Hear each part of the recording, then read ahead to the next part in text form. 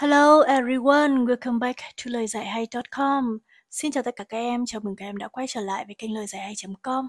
Hôm nay thì chúng mình sẽ cùng tìm hiểu Unit 10, New Ways to Learn. Chúng mình sẽ cùng tìm hiểu bài số 10, chủ đề là những cách học mới. Lesson 1, tiết học số 1. Sau tiết học số 1 thì chúng mình có thể make predictions about the future of education. Chúng mình có thể dự đoán về tương lai của giáo dục. Use be going to and will chúng mình sẽ sử dụng được be going to và will. Trong phần pronunciation là phần phát âm thì chúng mình sẽ được tìm hiểu về stressful words ending with I, O, N. Chúng mình sẽ được tìm hiểu về trọng âm đối với các từ mà kết thúc bằng ION. Bây giờ thì chúng mình sẽ cùng tìm hiểu bài ngày hôm nay nhé. Trước tiên thì chúng mình sẽ cùng trả lời câu hỏi ở phần warm up, tức là phần khởi động. In pairs, làm việc theo cặp và trả lời câu hỏi. What's your favorite way to learn English? Cách học tiếng Anh yêu thích của bạn là gì? Bây giờ thì cô sẽ hướng dẫn chúng mình trả lời câu hỏi này nhé. Đây là câu trả lời của cô, cô sẽ đọc và dịch lại câu trả lời của mình. I listen to English songs, watch English movies, and read English books. In addition, I do crossword puzzles to enrich my vocabulary. Tôi nghe các bài hát tiếng Anh, xem các bộ phim tiếng Anh và đọc sách tiếng Anh. Ngoài ra, tôi giải câu đố ô chữ để làm giàu vốn từ của mình. Now let's begin with new words. Trước tiên thì chúng mình sẽ cùng bắt đầu với phần từ mới. A. Match the words with the descriptions. Listen and repeat. Ở phần A chúng mình sẽ nối các từ với mô tả. Sau đó thì chúng mình sẽ cùng nghe và lặp lại. Number one, e-learning. E-learning ở đây mang nghĩa là học trực tuyến. Number one chúng mình sẽ nối với C. Giáo dục mà sử dụng phương tiện điện tử. Thường là qua Internet. Number one chúng mình sẽ nối với C. Và cô sẽ viết nghĩa của e-learning ra bên đây. Học trực tuyến.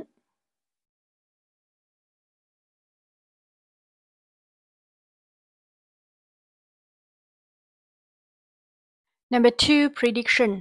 Prediction ở đây mang nghĩa là dự đoán. Number two, chúng mình sẽ nối với G. Điều mà một người hoặc mọi người nghĩ có thể xảy ra trong tương lai. Number two, chúng mình sẽ nối với G. Và prediction ở đây mang nghĩa là dự đoán.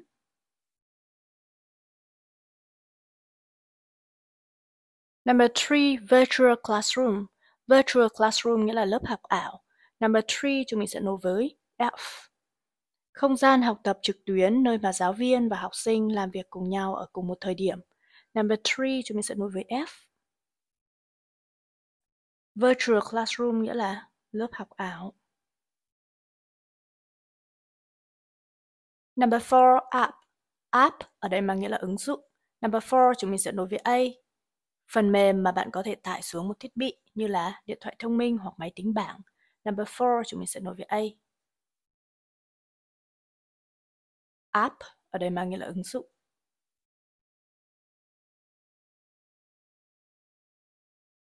Number five, artificial intelligence. Từ này mang nghĩa là trí tuệ nhân tạo. Number five, chúng mình sẽ đối với E, khả năng của một chiếc máy có thể sao chép suy nghĩ của con người. Number five, chúng mình sẽ đối với E. Artificial intelligence mà nghĩa là trí tuệ nhân tạo.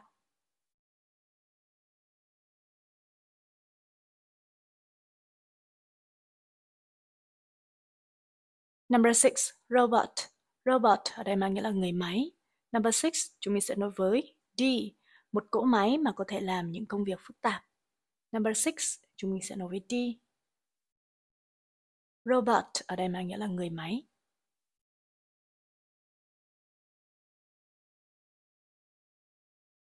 Number seven, interactive whiteboard, bảng tương tác thông minh. Number seven, chúng mình sẽ nói với B, một màn hình lớn mà gắn vào máy tính. Number seven, chúng mình sẽ nói với B. Interactive Whiteboard mang nghĩa là bảng tương tác thông minh.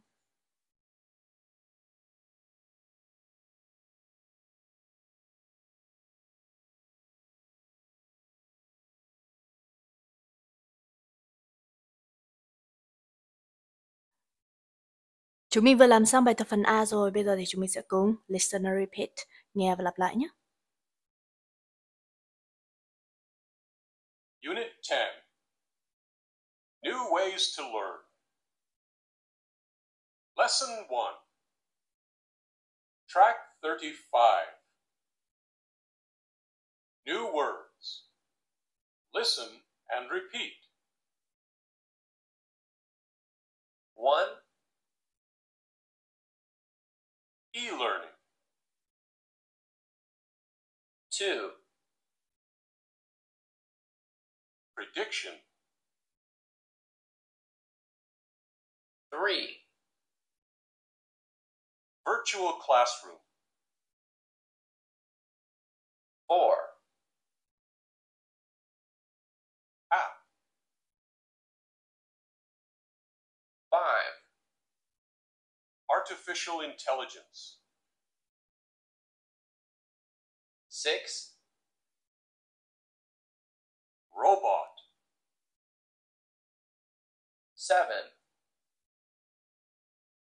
interactive whiteboard,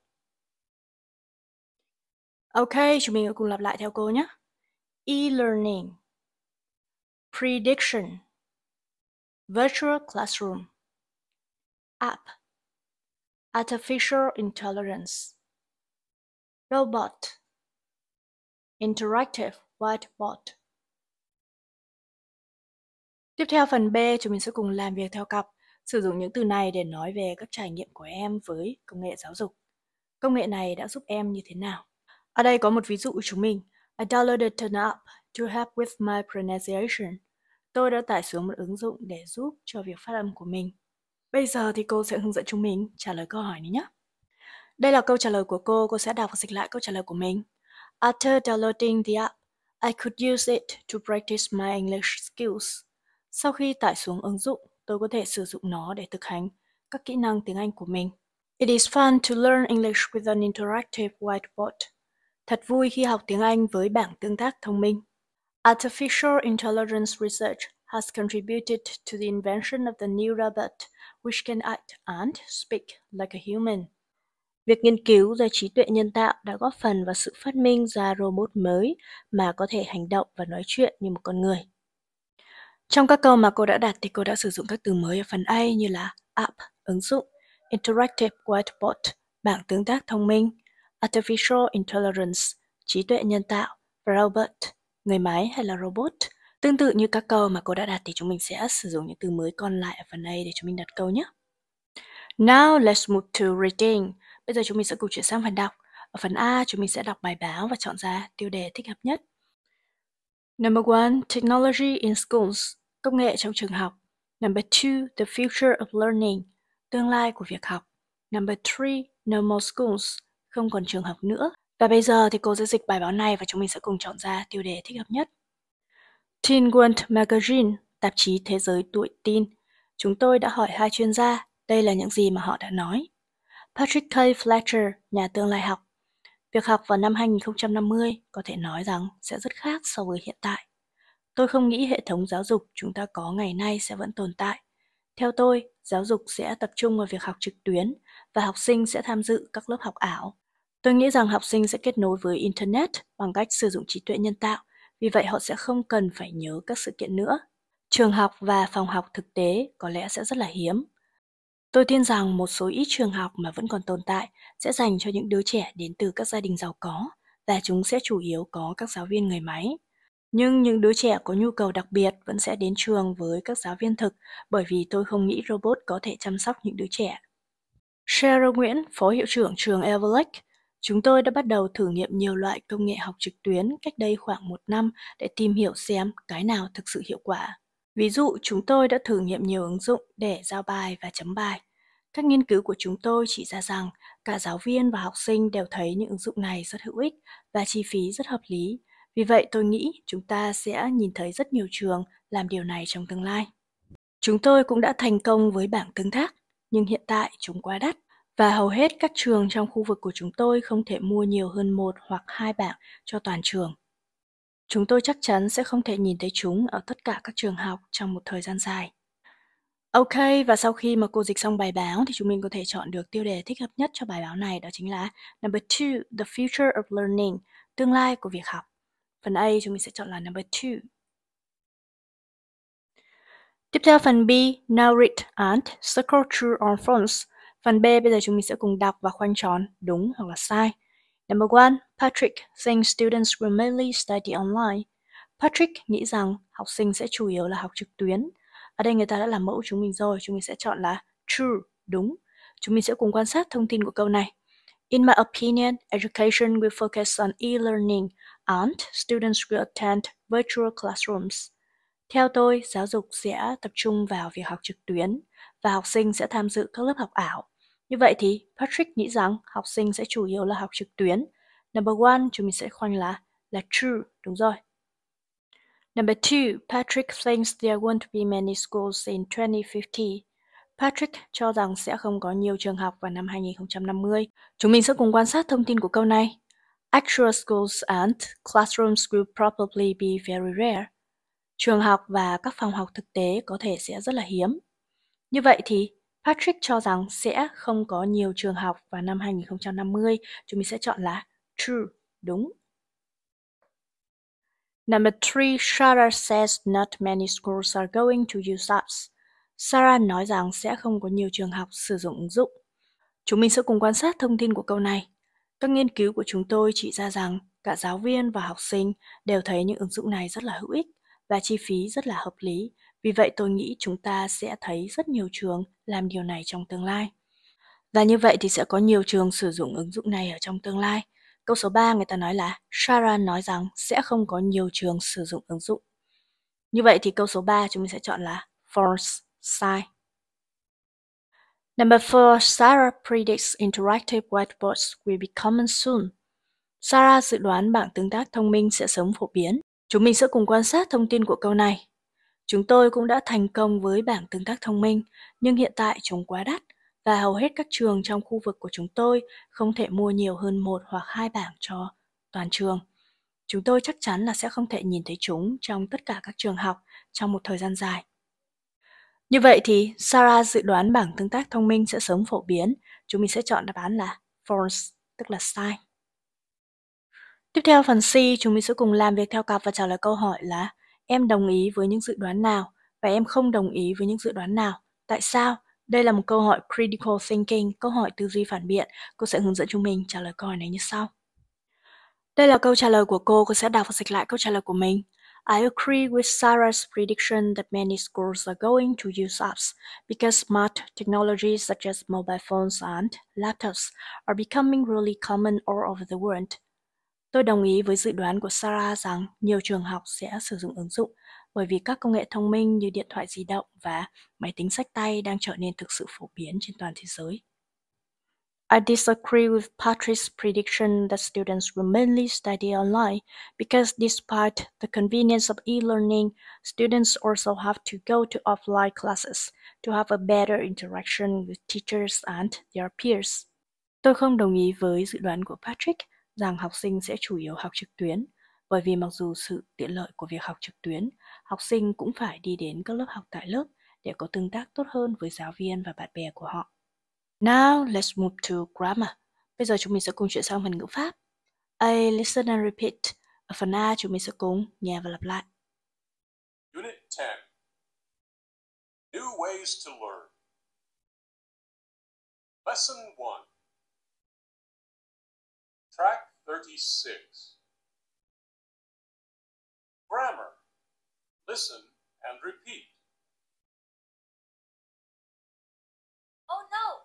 Going to fall. I think every class will have a robot teacher. Ok, chúng mình cùng lặp lại theo câu nhé. Oh no, it's going to fall. Ôi không, nó sắp rơi. I think every class will have a robot teacher. Tôi nghĩ mỗi lớp học sẽ có một giáo viên người máy. Ở đây chúng mình sẽ cùng quan sát hai từ in đậm đó chính là is going to và will. Và nội dung bài ngày hôm nay chúng mình sẽ cùng tìm hiểu về will và be going to. Trước tiên chúng mình sẽ cùng tìm hiểu về will, meaning and use, ý nghĩa và cách sử dụng. Chúng ta sử dụng will để dự đoán những điều trong tương lai dựa trên những ý kiến hoặc là kinh nghiệm cá nhân. Ví dụ, I think by 2050 there will be humans living on Mars. Tôi nghĩ đến năm 2050 sẽ có con người sống ở trên sao hỏa.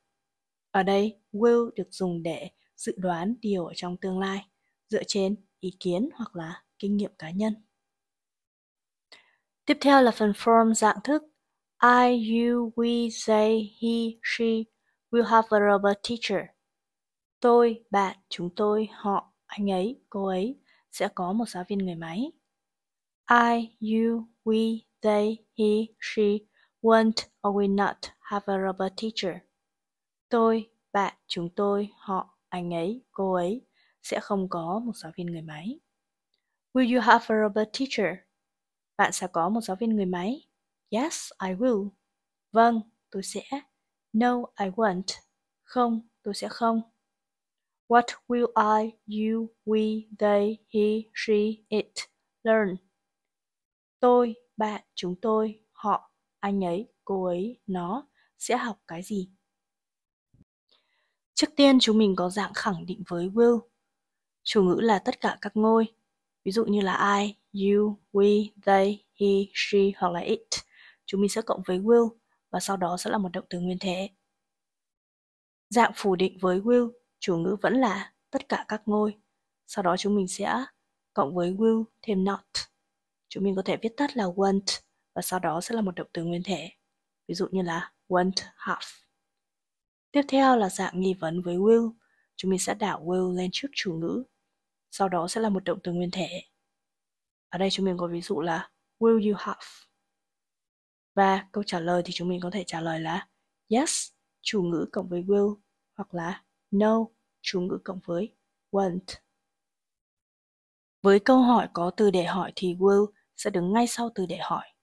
Sau will sẽ là chủ ngữ và sau chủ ngữ sẽ là là động từ nguyên thể. Chúng mình cùng lưu ý nhé. Tiếp theo là be going to, meaning and use, ý nghĩa và cách sử dụng. Chúng ta sử dụng be going to để dự đoán những điều trong tương lai dựa trên các dữ kiện hoặc là bằng chứng ở hiện tại. Ví dụ, look at the clouds, it's going to rain. Nhìn những đám mây, trời sẽ mưa. Ở đây, be going to được dùng để dự đoán điều trong tương lai đó chính là trời sẽ mưa, dựa trên bằng chứng ở hiện tại đó chính là những đám mây. Tiếp theo là phần form dạng thức. I am going to win the race. Tôi sẽ giành chiến thắng cuộc đua. He, she, it is going to win the race. Anh ấy, cô ấy, nó sẽ giành chiến thắng cuộc đua. We, you, they are not going to win the race. Chúng tôi, họ, bạn sẽ không giành chiến thắng cuộc đua. Are they going to start online teaching next year? Họ sẽ bắt đầu dạy trực tuyến vào năm sau đúng không? Yes, they are. Vâng, họ sẽ. No, they are not. Không, họ sẽ không. What is your school going to introduce next year? Trường học của bạn sẽ giới thiệu cái gì vào năm tới? Chúng mình sẽ cùng quan sát công thức của be going to. Sau be going to, chúng mình đều cộng với một động từ nguyên thể. Câu khẳng định với be going to. Chủ ngữ là I thì to be chúng mình sẽ dùng là là am. I'm going to. Chủ ngữ là he hoặc she hoặc it thì to be chúng mình dùng sẽ là là is going to. Sau đó sẽ là một động từ nguyên thể. Chủ ngữ là we hoặc you hoặc they thì chúng mình sẽ cộng với are cộng với going to cộng với động từ nguyên thể. Tiếp theo câu phủ định, câu phủ định chúng mình sẽ thêm not và đằng sau to be. Ví dụ I thì sẽ là I'm not going to cộng với động từ nguyên thể.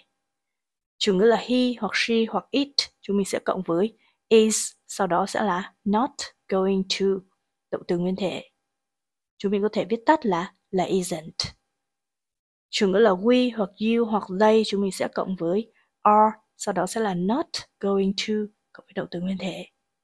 Chúng mình có thể viết tắt là là aren't. Tiếp theo là dạng nghi vấn của be going to, chúng mình sẽ đảo to be lên trước chủ ngữ, sau đó sẽ là going to cộng với động từ nguyên thể. Có thì chúng mình sẽ trả lời là yes, chủ ngữ cộng với be. Không thì chúng mình sẽ trả lời là no, chủ ngữ cộng với be not. Câu hỏi với từ để hỏi thì công thức sẽ là từ để hỏi, sau đó sẽ là to be, sau đó sẽ là chủ ngữ going to cộng với động từ nguyên thể. Chúng mình cùng lưu ý nhé. Tiếp theo phần B, unscramble the sentences. Phần B chúng mình sẽ sắp xếp các câu. Number one, to, let, we, be, going, are. Câu này chúng mình sẽ sắp xếp lại như sau. We are going to be late. Chúng tôi sẽ đến muộn. Chủ ngữ của câu này là we, cho nên là to be chúng mình dùng sẽ là are. Đằng sau là going to, động từ nguyên thể là be. Và cuối cùng sẽ là let. Number two, in April, my going, sister, have a baby, is two. Câu này chúng mình sẽ sắp xếp lại như sau. Chủ ngữ là my sister. Chúng mình sẽ viết là my sister.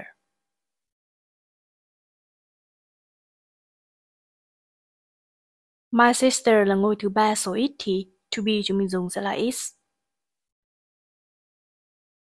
Đằng sau sẽ là going to.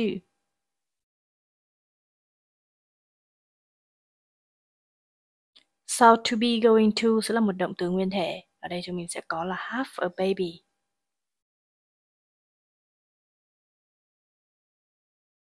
Và cuối cùng sẽ là in April.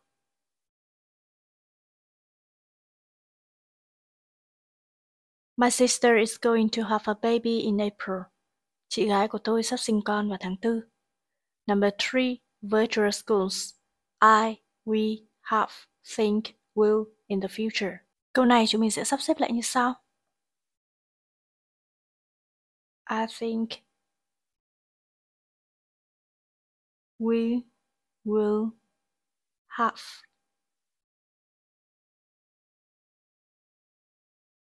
virtual schools in the future.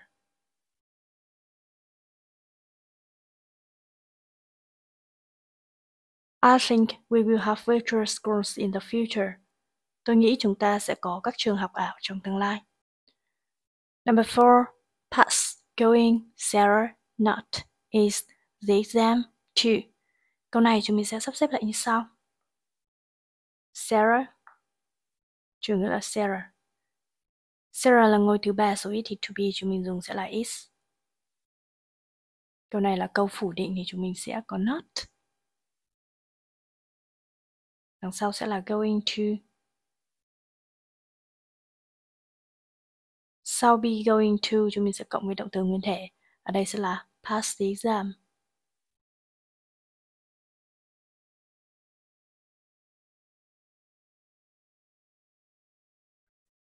Sarah is not going to pass the exam. Sarah sẽ không vượt qua kỳ thi.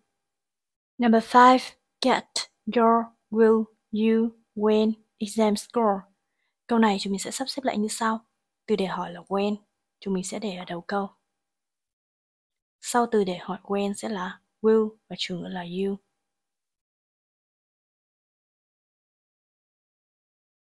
Sau chủ ngữ sẽ là động từ nguyên thể get. Cuối cùng sẽ là your exam score.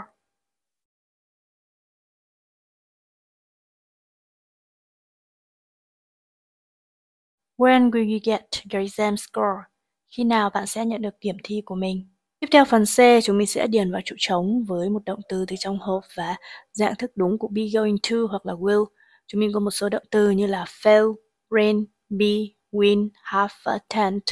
Number one, I didn't study at all for tomorrow's test. I'm sure I. Tôi đã không học gì cho bài kiểm tra ngày mai. Tôi chắc chắn tôi. Ở đây number one, chúng mình sẽ điền là, I'm going to fail. Tôi chắc chắn tôi sẽ thi trượt. Tại sao chúng mình lại dùng be going to ở đây? Bởi vì chúng mình có bằng chứng ở hiện tại, đó chính là tôi đã không học gì cho bài kiểm tra ngày mai. Nên là number one, chúng mình sẽ sử dụng là, be going to. Và number one, chúng mình sẽ chia là I'm going to fail. Number two, I think there robot teachers in every school one day. Tôi nghĩ sẽ có các giáo viên người máy trong mọi trường học một ngày nào đó.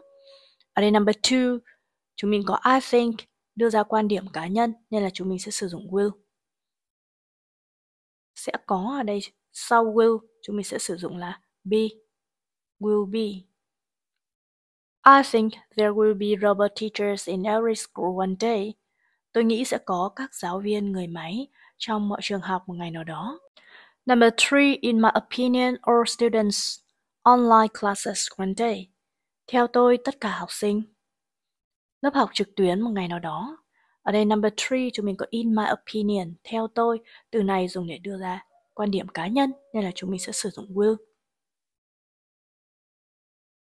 Ở đây number three chúng mình sẽ điền là will attend, tham dự. In my opinion, all students will attend online classes one day. Theo tôi, tất cả các học sinh sẽ tham dự các lớp học trực tuyến một ngày nào đó. Number four, look at those like clouds in the sky. It. Nhìn những đám mây đen trên bầu trời. Trời như thế nào đó.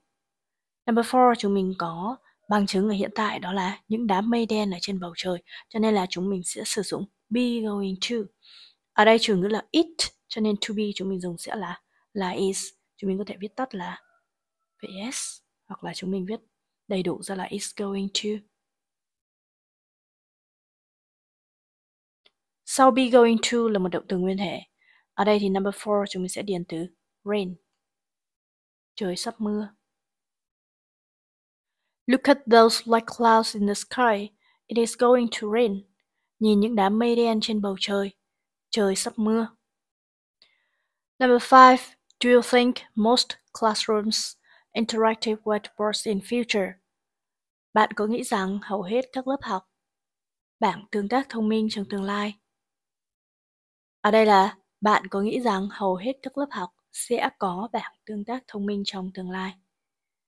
Câu này là câu hỏi thông tin về ý kiến cá nhân, cho nên là chúng mình sẽ sử dụng will. Sẽ có ở đây chúng mình sẽ dùng động từ đó là have.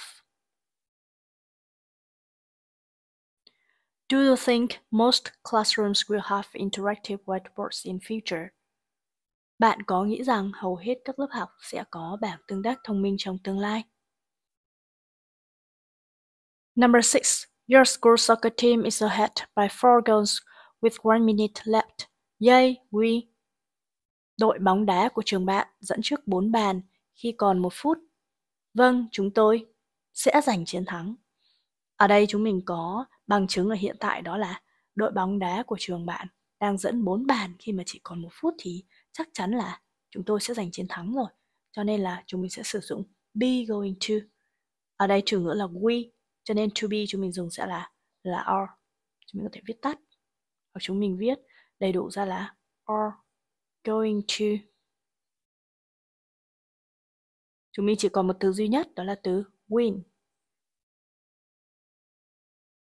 Your school soccer team is ahead by four goals with one minute left. Yay, we're going to win. Đội bóng đá của trường bạn dẫn trước 4 bàn khi mà chỉ còn một phút. Chúng tôi sẽ giành chiến thắng. Tiếp theo phần D in pairs, talk about some things you are going to do in the future. Phần D chúng mình sẽ cùng làm việc theo cặp, nói về một số việc mà bạn sẽ làm ở trong tương lai. Chúng mình cùng quan sát ví dụ. I'm going to go to England with my parents next month. Tôi sẽ sang Anh với bố mẹ vào tháng tới. I'm not sure, but I think I will go to the mall this weekend. Tôi không chắc, nhưng tôi nghĩ tôi sẽ đến trung tâm thương mại vào cuối tuần này. Và bây giờ thì cô sẽ hướng dẫn chúng mình trả lời câu hỏi này nhé. Đây là câu trả lời của cô, cô sẽ đọc và dịch lại câu trả lời của mình. I'm going to look for a new place to live next month. Tôi sẽ tìm một nơi mới để sống vào tháng tới. Really? I think I will stay there to the beginning of October. Thật sao? Tôi nghĩ tôi sẽ ở đây cho đến đầu tháng 10. The next part is pronunciation. Phần tiếp theo mà chúng mình học đó là phần phát âm. Nội dung phần phát âm ngày hôm nay chúng mình sẽ cùng tìm hiểu về word stress là trọng âm một từ. Ở phần A, chúng mình lưu ý là các từ mà có hậu tố là ion thì sẽ có trọng âm rơi vào âm tiết ngay trước hậu tố. Tiếp theo phần B, listen to the words and focus on the underlined letters. Phần B chúng mình sẽ nghe các từ và tập trung vào các chữ cái được gạch chân. Bây giờ thì chúng mình sẽ cùng nghe nhé. Unit 10 New Ways to Learn. Lesson 1 Track 37 Pronunciation. Listen to the words and focus on the underlined letters. Prediction. Prediction. Education. Education. Ok, chúng mình cùng lặp lại theo cô nhé. Prediction. Prediction. Education. Education. Chúng mình sẽ cùng quan sát từ đầu tiên prediction. Prediction, từ này nghĩa là sự dự đoán, từ này có trọng âm rơi vào. Dick. Chính là những chữ cái được gạch chân. Tiếp theo là education. Education ở đây mang nghĩa là sự giáo dục. Từ này có trọng âm rơi vào K, cũng là những chữ cái được gạch chân. Và chúng mình có thể thấy là cả hai từ này đều kết thúc bằng ion và đều có trọng âm rơi vào âm tiết ngay đằng trước ion. Và chúng mình có thể rút ra lưu ý đó là những từ mà có hậu tố là ion thì sẽ có trọng âm rơi vào âm tiết ngay đằng trước hậu tố. Chúng mình cùng lưu ý nhé. Tiếp theo là phần C. Listen and cross out the word with the wrong word stress. Phần C chúng mình sẽ nghe và gạch bỏ đi các từ mà có trọng âm sai. Bây giờ chúng mình sẽ cùng nghe nhé. Unit 10 New Ways to Learn. Lesson 1 Track 38 Pronunciation. Listen and cross out the word with the wrong word stress. Interaction. Presentation. Conversation. Education. Ok, chúng mình đã nghe các từ rồi và chúng mình sẽ gạch bỏ đi từ mà có trọng âm sai ở đây đó chính là presentation. Ở đây chúng mình có thể nghe thấy là từ presentation người ta đọc mạnh, nhấn mạnh vào âm tiết đầu tiên. Như vậy thì presentation là từ mà có trọng âm sai và chúng mình sẽ gạch bỏ đi. Và từ này chúng mình đọc đúng sẽ là presentation. Trọng âm sẽ rơi vào T. Presentation mang nghĩa là bài thuyết trình. Tiếp theo interaction. Interaction từ này có trọng âm rơi vào break. Interaction mang nghĩa là sự tương tác. Conversation mang nghĩa là cuộc hội thoại. Từ này có trọng âm rơi vào say. Từ cuối cùng education, education lấy mang nghĩa là sự giáo dục và từ này có trọng âm rơi vào k. Và chúng mình sẽ cùng quan sát bốn từ ở đây đều kết thúc bằng ion. Và bốn từ này đều có trọng âm rơi vào âm tiết ngay đằng trước ion. Tiếp theo phần D, read the words with the correct stress to a partner. Phần D chúng mình sẽ đọc các từ với trọng âm chính xác cho bạn cùng bàn của em. Bây giờ thì chúng mình sẽ cùng đọc theo cô nhé. Prediction Education Interaction Presentation Conversation Education Now let's move to practice. Bây giờ chúng mình sẽ cùng chuyển sang phần thực hành. A. Ask and answer using the pictures and words in the box. Square rows and repeat. Ở phần A, chúng mình sẽ cùng hỏi và trả lời sử dụng các hình ảnh và các từ ở trong hộp. Sau đó thì chúng mình sẽ cùng đổi vai và lặp lại. Trước tiên này chúng mình sẽ cùng quan sát các từ ở trong hộp. I think, tôi nghĩ. I don't think, tôi không nghĩ. Going to và will mà nghĩa là sẽ. Want mà nghĩa là sẽ không. Chúng mình sẽ cùng quan sát các hình ảnh cũng như là các gợi ý ở bên dưới. Hình ảnh đầu tiên, Interactive Whiteboards, bảng tương tác thông minh. Tiếp theo là e-learning, học trực tuyến. Robot Teachers, giáo viên người máy. Educational Apps, ứng dụng giáo dục. Virtual Classrooms, các lớp học ảo. Và Robot Students, là học sinh người máy. Ở đây cũng có ví dụ của chúng mình. What do you think education is going to be like in the future? Bạn nghĩ rằng nền giáo dục sẽ như thế nào trong tương lai? We're going to have more interactive whiteboards. Chúng ta sẽ có nhiều bảng tương tác thông minh hơn. Trong ví dụ này thì chúng mình có thể thấy là người ta đã hỏi và trả lời về bức tranh đầu tiên, interactive whiteboards, và sử dụng cụm từ ở trong hộp đó chính là going to. Và bây giờ thì cô sẽ hướng dẫn chúng mình hỏi và trả lời sử dụng các bức tranh cũng như là các từ trong hộp còn lại nhé. Đây là câu trả lời của cô, cô sẽ đọc và dịch lại câu trả lời của mình. What do you think education is going to be like in the future? Bạn nghĩ nền giáo dục sẽ như thế nào trong tương lai? I think schools and universities are going to develop e-learning platforms. Tôi nghĩ các trường học và các trường đại học sẽ phát triển nền tảng học trực tuyến. What do you think education is going to be like in the future? Bạn nghĩ nền giáo dục sẽ như thế nào trong tương lai? We will have robot teachers, but I don't think they will replace teachers.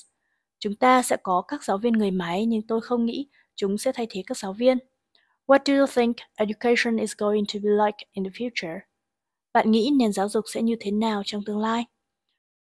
We are going to have more educational apps. Chúng ta sẽ có nhiều ứng dụng giáo dục hơn.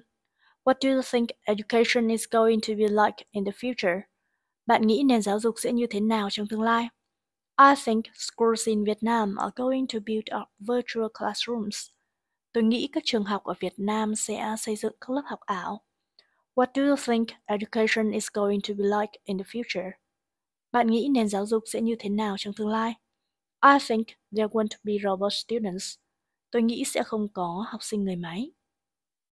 Trong đoạn hội thoại của cô thì chúng mình có thể thấy là cô đã bối đậm các từ ở trong hộp như là I think, going to, I don't think, will that, won't. Cũng như là cô đã sử dụng các hình ảnh e-learning, robot teachers, educational apps, virtual classrooms và robot students. Dựa vào đoạn hội thoại của cô thì chúng mình sẽ thực hành, hỏi và trả lời cùng với bạn của chúng mình. Sau đó thì chúng mình sẽ cùng đổi vai và lặp lại nhé. Rất đơn giản phải không nào? Tiếp theo phần B, chúng mình sẽ nghĩ về các lý do cho những sự dự đoán này và chúng mình sẽ thực hành lại. Ví dụ, we are going to have more interactive whiteboards because many schools are using them now. Chúng ta sẽ có nhiều bảng tương tác thông minh hơn bởi vì hiện tại nhiều trường đang sử dụng chúng. Bây giờ thì cô sẽ hướng dẫn chúng mình trả lời câu hỏi này nhé. Đây là câu trả lời của cô, cô sẽ đọc và dịch lại câu trả lời của mình. We are going to develop e-learning platforms because they can help students learn online in emergent situations. Chúng ta sẽ phát triển các nền tảng học trực tuyến bởi vì chúng có thể giúp học sinh học trực tuyến trong các tình huống khẩn cấp. Schools are going to build up virtual classrooms thanks to the development of technology.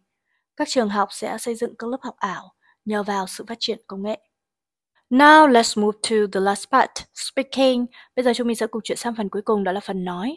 Chủ đề phần nói ngày hôm nay đó chính là the future of education, tương lai của giáo dục. A. What do you think will happen in classrooms in the future?